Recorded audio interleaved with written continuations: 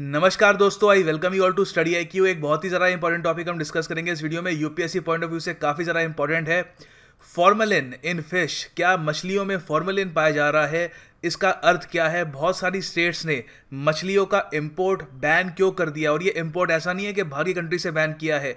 अपने ही देश की स्टेट से, कई हमारे देश की स्टेट्स ने इंपोर्ट मछली का बैन कर दिया है because of the fear of formalin तो जानेंगे यहाँ पे कहानी क्या है फॉर्मेलिन घातक किस तरीके से हो सकता है और वे फॉरवर्ड भी क्या हो सकती है इस प्रॉब्लम की। So lot to know lot to discuss as always but before we begin मैं बता दूँ कि स्टडी है क्योंकि पेन ड्राइव कोर्सेज आते हैं इन सब एग्ज़ाम्स के लिए। SSC bank U UPSC NABARD इनको आप ऑर्डर कर सकते हैं स्टडी डॉट कॉम पे और आप इन नंबर्स पे कॉल भी कर सकते हैं। तो रिसेंटली हुआ क्या है? देखो, गोवा इंडिया की एक फ़िश लविंग स्टेट मानी जाती है। यहाँ के लोग फ़िश खाना पसंद करते हैं साल के बारह महीने। अभी इस वक्त मानसून चल रहा है। मानसून के टाइम में गोवा के जो मछुआरे हैं, वो मछली नहीं पकड़ते। तब इनको मछली तो खानी है यहाँ के लोगों को। तो यह करते हैं कि तमिलनाडु, आंध्र प्रदेश, आसपास के जो राज्य हैं, वहाँ से फ़िश को इम्पोर्ट करते हैं अपने राज्य में ताकि यहाँ पे कंज्यूम किया जा सके। अभी क्या हुआ है कि अचानक से यहाँ की सरकार ने, गोवा की सरकार ने पंद्रह दिन का इम्पोर्ट बैन लगा दिया है कि तमिलनाडु, आंध्र प्रदेश से कोई भी फ़िश नहीं आएगी गोवा में। क्यों नहीं आएगी? इसका रीज़न ये है कि कुछ जो यहाँ पे फ़िश इंपोर्ट की जा रही थी, उसमें पाया गया है फॉर्मलिन फॉर्मलिन एक बैंड प्रिजर्वेटिव है। आपकी सेहत के लिए बहुत ज़्यादा हानिकारक हो सकता है। कैंसर कॉजिंग इसको मान कैंसर कॉजिंग इसको माना जाता है और फ़िश इसमें पूरी लेस्ड पाई गई।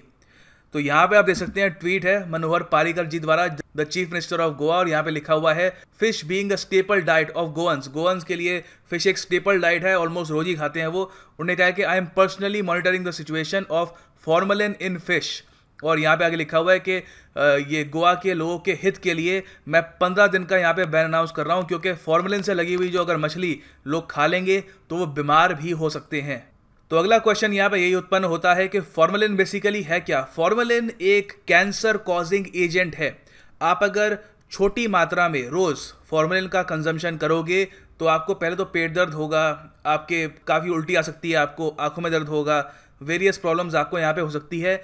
फिर अगर लंबे ड्यूरेशन के लिए आप फॉर्मलिन कंज्यूम करते रहे तो कैंसर भी आपको हो सकता है। तो ये कैंसर कॉजिंग एजेंट का इस्तेमाल भी क्या है? क्या ये बस एग्जिस्ट करता है कैंसर क्रिएट करने के लिए? नहीं, इसका एक यूज़ भी है। आपने मॉर्चुरीज देखी होगी। मॉर्चुरी बेसिकली होती है एक ऐसी जगह जहाँ पर डेड बॉडी को जलाने से पहले या उसको दफनाने से पहले वहाँ पे रखा जाता है। तो वहाँ पे जब रखा जाता है बॉडी को तो वहाँ पे फॉर्मुलिन से उसको लेस कर देते हैं फॉर्मुलिन लगा देते हैं ताकि जो डिके है, जो सड़न है बॉडी की, वो थोड़ी बहुत रुक जाए। तो एक तरीके से प्रजर्वेटिव की तरह यहाँ पे काम होता है इसका। हाँ अब ये वैसे हम डेड बॉडीज़ पे यूज़ करते हैं मॉर्चरीज पे, मगर यहाँ पे हम कैसे यूज़ कर रहे हैं? मछलियों पे। हम ये क्यों कर रहे हैं, ये भी जान लेते हैं। देखो फ़िश को हम कहते हैं एक पेरिशेबल कमोडिटी जो जल्दी से ख़राब हो सकती है। अब मान लो, तमिलनाडु में किसी फिशरमैन ने वहाँ पर मछली पकड़ी तो जल्दी से उसको मार्केट में पहुँचाना होगा, नहीं तो रास्ते में वो ख़राब हो भी सकती है, और बहुत सारी मछली जो पकड़ी जाती है, हिंदुस्तान इतना बड़ा इतना बड़ा देश है, आपको इतना ट्रैवल करना पड़ता है इंफ्रास्ट्रक्चर अभी इतना डेवलप है नहीं स्टोरेज हाउसेज हमारे पास इतने हैं नहीं, बर्फ़ आराम से नहीं मिलती। तो इस सब की वजह से क्या होता है कि मछली काफ़ी बार पैरिश हो जाती है और जो भी यहाँ पे ट्रेडर है, जो बिजनेसमैन है, उनको काफ़ी नुकसान भी यहाँ पे झेलना पड़ता है। क्यों? क्योंकि आपको जब मछली को प्रिजर्व करना है तो आपको प्रॉपर तरीके से पाँच डिग्री सेल्सियस का टेम्परेचर मेंटेन करना होगा। अगर आप नहीं कर पाए तो मछली स्पॉयल हो जाएगी मार्केट में इसको कोई खरीदेगा नहीं। तो यहाँ पर अभी इन्होंने नया फॉर्मूला ये निकाला कि मछली को पकड़ते ही क्या करते हैं ये? मछली को डाल देते हैं फॉर्मुलिन के एक बैरल के अंदर। वहाँ पे मछली काफ़ी हद तक प्रिजर्व रहती है। फिर इसको जहाँ भी लेके जाना है तमिलनाडु से गोवा गोवा से मणिपुर। जी हाँ इवन जो हमारा नॉर्थ ईस्ट इंडिया है, वहाँ पर भी जो ये मछली खाना पसंद करते हैं ये, यहाँ से आंध्र प्रदेश, तमिलनाडु से ही आती है।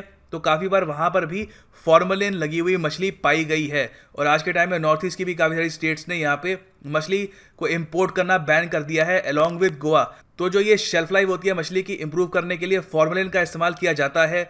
बाकी इससे पहले हमने केसेस देखे हैं कि अमोनिया का इस्तेमाल भी होता रहा अमोनिया भी काफ़ी ख़राब है, मगर फॉर्मलिन तो खैर काफ़ी ज़रा ख़राब है और काफ़ी लोगों को ये बीमार भी कर सकता है।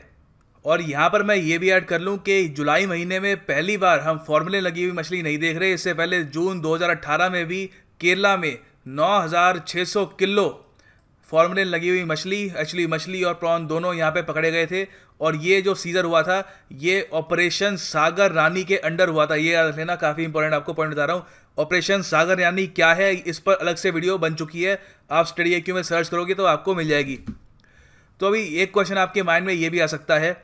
कि ठीक है, गोवा को इम्पोर्ट करनी पड़ती है फ़िश मगर ये मानसून के टाइम फ़िश यहाँ पे अपने कोस्टल एरिया में क्यों नहीं करते?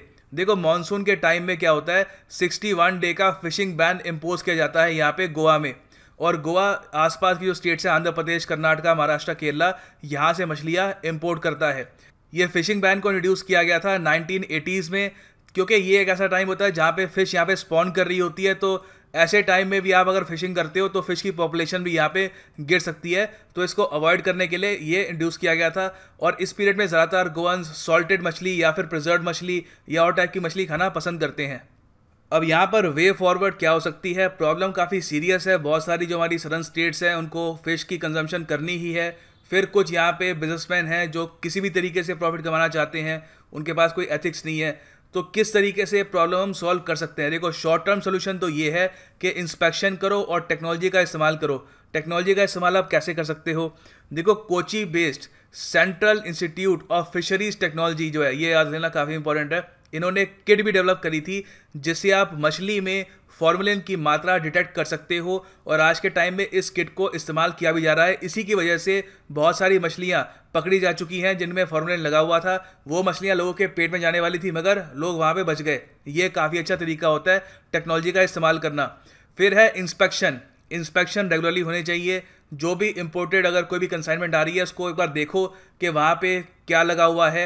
और इसके लिए करप्शन पे भी क्रैकडाउन करना पड़ेगा। ये एक काफ़ी इंपॉर्टेंट पार्ट है शॉर्ट टर्म सॉल्यूशन का। लॉन्ग टर्म में हम क्या कर सकते हैं? देखो, सारी कहानी यहाँ पे आती है इंफ्रास्ट्रक्चर पे। मैं आपको ये बता दूँ कि कोई इंटेंशनली किसी को कैंसर देना नहीं चाहेगा। कुछ रेयर केसेस में हो सकता है, मगर इंटेंशनली कोई ये नहीं चाहेगा कि वो ऐसी मछली यहाँ पे बाज़ार में बेचे जहाँ से लोगों को कैंसर हो सकता है या फिर उनकी सेहत ख़राब हो सकती है। ज़्यादातर ये प्रॉफिट के चक्कर में या फिर मजबूरी में किया जाता है। क्योंकि बिजनेसमैन को यहाँ पे मछलियाँ पहुँचानी ही होती है मार्केट में। तो यहाँ पे इंफ्रास्ट्रक्चर की जो कमी है आज के टाइम में, उसकी वजह से बहुत सारे बिजनेसमैन को काफ़ी नुकसान भी होता है। क्योंकि देखो, आपने आंध्र प्रदेश में मछली पकड़ी, फिर आपको गोवा में लेके जाना है, ठीक है? तो रास्ते में क्या होता है, पहली बात तो कोई ऐसे यहाँ पे स्टोरेज फैसिलिटी नहीं होती उनके लिए। आइस का मिलना काफ़ी मुश्किल होता है क्वालिटी आइस का मिलना, जिससे जो मछली का टेम्परेचर है पाँच डिग्री सेल्सियस के आसपास रहे, ये मिलना काफ़ी मुश्किल है। तो इन्हीं रीजंस की वजह से जो खराब प्रैक्टिस हैं, ये बढ़ती भी हैं। तो आज के टाइम में अगर हम इंफ्रास्ट्रक्चर इंप्रूव कर लें और ये जो बिजनेसमैन है, इनकी हेल्प करें, जो ट्रांसपोर्ट करते हैं फ़िश को एक जगह से दूसरी जगह, यहाँ पे सरकार इनकी सहायता करे तो भी हो सकता है कि यहाँ पे ये इंटेंशनली फॉर्मुलिन का इस्तेमाल क्यों करेंगे? जब इनको नेचुरल तरीके से फ़िश को प्रिजर्व करने का रास्ता मिल जाएगा। तो ये काफ़ी अच्छा तरीका है और ये लॉन्ग टर्म सोल्यूशन है। ये इस पर अभी हम काम करना स्टार्ट करेंगे तो पाँच दस साल में इस पर कुछ हम आगे बढ़ पाएँगे। फॉर द टाइम बिंग मैं आपको सजेस्ट करूँगा कि जो भी न्यूज़ आ रही है इससे रिलेटेड उससे अप टू डेट रहिएगा। आपके जो सरकार कह रही है, ध्यान से सुनिएगा। जो भी वो अगर कुछ यहाँ पे आपकी सेफ्टी के लिए कुछ बात कहती है, उसको इम्प्लीमेंट भी करिएगा, क्योंकि हम नहीं चाहते कि आप बीमार हो and stay safe and that's all I have to say in this video God bless you all